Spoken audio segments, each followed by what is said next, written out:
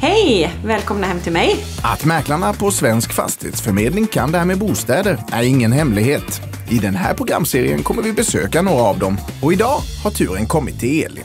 Jaha, du älskar förvaring har jag hört. Ja, men det gör jag. Jag gillar organisation och förvaring, det gör jag.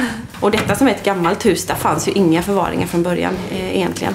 Utan det fick man ju försöka få att smälta in på ett bra sätt i bostaden. Har du något exempel? Här till exempel så byggde vi en smart förvaring. Eh, här var ju en, eh, en dörr ut innan. Ja, har man en dörr in måste man också ha en dörr ut. Så då byggde vi igen dörren med en vägg och sen så förvaring. Förvara mig väl så bra det blev. Mm, det är skönt, då får man undan allting sånt. Ja, här har vi vårt sovrum. Eh, och det var ju ett eh, högprioriterat område. Eh, så då tänkte vi eh, att vi bygger upp en vägg som vi har gjort här.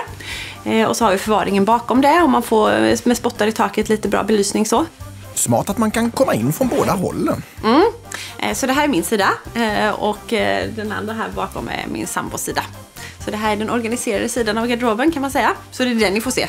Den andra får ni inte se. Jaha, ja, jag hade uppfattat. Så här har vi fått in både säng och byrå och koja under då. Så har man tre i ett kan man säga. Typ som ett Kinderägg. Och ett jätteägg i så fall.